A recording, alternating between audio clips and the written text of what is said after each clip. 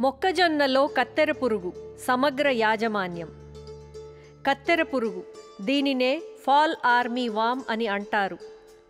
స్పొడాప్టరా ఫ్రూజీపెరడా అనబడే లద్దె పురుగు జాతికి చెందిన ఈ పురుగు ఈ సంవత్సరం మొక్కజొన్న పంటను ఆశించడం జరిగింది.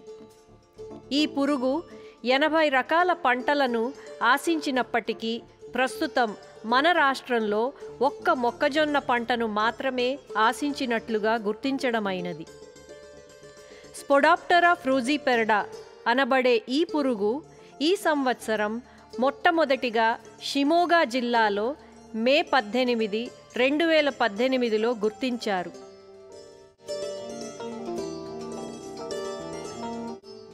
ప్రొఫెసర్ జైశంకర్ తెలంగాణ రాష్ట్ర వ్యవసాయ విశ్వవిద్యాలయ శాస్త్రవేత్తలు ఈ కత్తెర పురుగును ఆగస్టు మొదటి పక్షంలో తెలంగాణ రాష్ట్రంలో మొక్కజొన్న పంటపై ఆశించినట్లు గుర్తించడమైనది.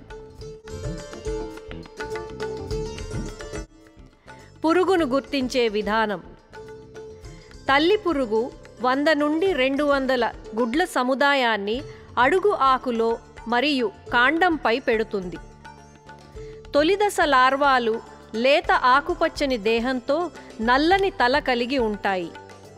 ఎదిగిన లార్వా ముదురు గోధుమ రంగులో ఉండి తలపై తలకిందులుగా ఉన్న తెల్లని వై ఆకారపు గుర్తును కలిగి ఉంటుంది.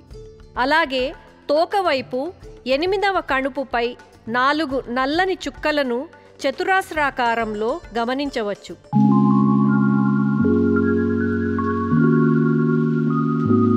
పైరును పురుగు నష్టపరిచే విధానం. మొదటి దశ లార్వాలు పత్రహరితాన్ని గోకి తినుట వలన ఆకులపై తెల్లటి పొర ఏర్పడుతుంది. రెండు మరియు మూడవ దశ లార్వాలు ఆకుసుడిలో ఉండి రంధ్రాలు చేసుకుంటూ తినటం వలన విచ్చుకున్న ఆకుల్లో వరుస రంధ్రాలు ఏర్పడతాయి. ఈ లార్వాలు సుడిలోని ఆకులను పూర్తిగా కత్తిరించి వేస్తాయి. పురుగు విసర్జించిన పసుపు పచ్చని గుళికలను సుడులలో గమనించవచ్చు. ఎదిగిన లార్వా దశలో ఆకులను వెలుపల నుండి లోపలి వైపుకు తినివేస్తూ పూర్తిగా ఆకులను తిని ఈనెలను మాత్రమే మిగులుస్తాయి. కంకి ఏర్పడిన తరువాత పొరలను తొలుచుకుంటూ రంధ్రాలు చేసి లోపలి గింజలను ఆశించి నష్టపరుస్తుంది. సమగ్ర సస్యరక్షణ చర్యలు.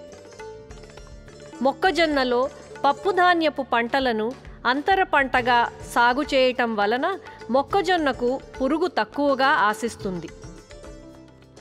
మొక్కజొన్న చుట్టూ నాలుగు వరుసలలో నేపియర్ గడ్డిని సాగు చేయటం వలన తల్లి కత్తెర పురుగు ఈ మొక్కలపై గుడ్లు పెడుతుంది.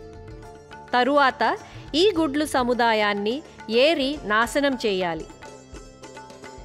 పురుగు గుడ్లను మొదటి దశ పిల్ల పురుగులను నివారించుటకు వేప సంబంధిత మందైన అజాడిరెక్టిన్ పదిహేను వందల పీపీఎం ఐదు మిల్లీలీటర్లు లీటరు నీటికి కలిపి పిచికారీ చెయ్యాలి.